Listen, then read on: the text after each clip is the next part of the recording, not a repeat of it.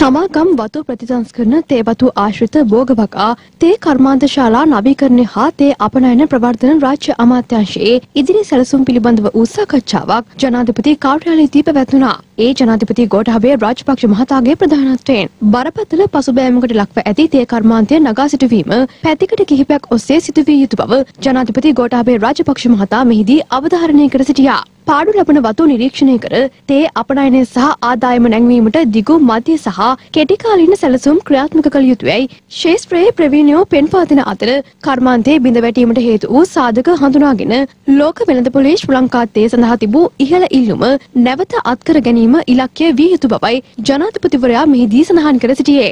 ප්‍රධාන වතු සමාගම් විසින් දහයක් අක්‍රියව ඇති අතර කුඩා තේවතු ඉහළ නිෂ්පාදනයක් අත්කරගන්නා විට වතු සමාගම්වල නිෂ්පාදන ධාරිතාව සීක්‍රයෙන් පහත වැටී ඇති බවද මෙහිදී අනාවරණය කෙරුණා. පාඩු ලැබීමට සහ අකර්මණයට හේතු කෙටි කලකදී හඳුනාගෙන ස්ථිර විසඳුම් දෙන ලෙසයි ජනාධිපතිවරයා නිලධාරීන්ට උපදෙස් ලබා දුන්නේ. පාඩු ලබන වතු සමාගම් නියාමන ව්‍යාපෘතියක් ලෙස කුඩා තේවතු හිමියන්ට පවරා සක්‍රියත්වයට පත් කිරීමටද තීරණය කෙරුණා. කොවිඩ් වසංගතය හමුවේ ඇඳිරි නීතිය පනවා තිබූ කාලයේදී රජයගත් තීරණ හේතුවෙන් හාරලක්ෂ විසි එක්දහසකට ආසන්න කුඩා තේවතු හිමියන් ආරක්ෂා වූ බව පැවසූ කුඩා තේවතු නියෝජිතයෝ ඒ පිළිබඳව ජනාධිපතිවරයාට ප්‍රශංසාපද පළ කළා.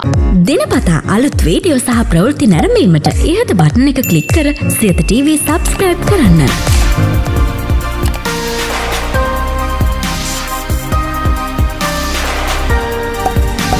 වීඩියෝ ගැන මුලින්ම දැනගන්න මෙම සීනුව ක්ලික් කරන්න.